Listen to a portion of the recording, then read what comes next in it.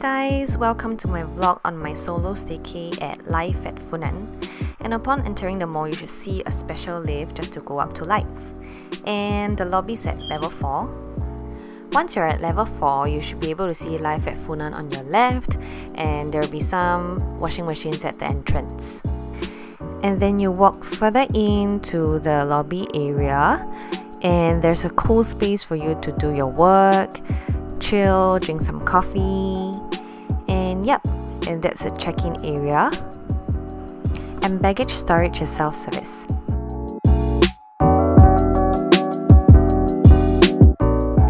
So I've read reviews online that the music at the lobby can be quite loud, so I've requested for a room that's at the high level and far away from the lobby.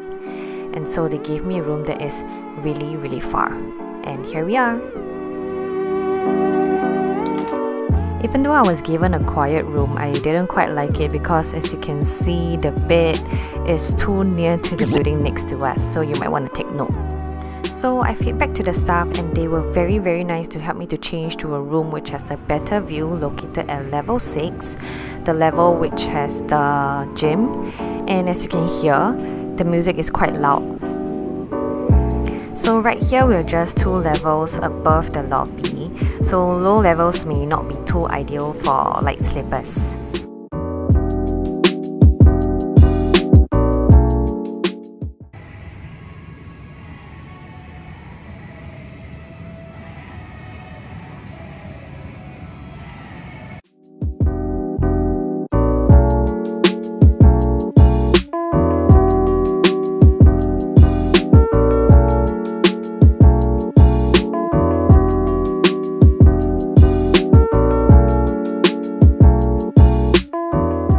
So for the rooms at lyf, they do not have the do not disturb button or the makeup room button because they do not clean the rooms every single day.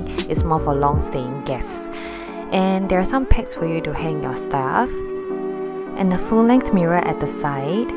They do provide a jug and a kettle for you to boil your own water because they don't provide complimentary water bottles. And here is a blackboard for you to doodle and some shelves. And they have blinds instead of curtains. Here at lyf, they have an open wardrobe concept and most importantly, they have the hair dryer. Just in case you missed it, there are some charging ports and switches beside the bed. As you can see, the shower area and the washing area are separated, so the floor might get a little wet when you're using it.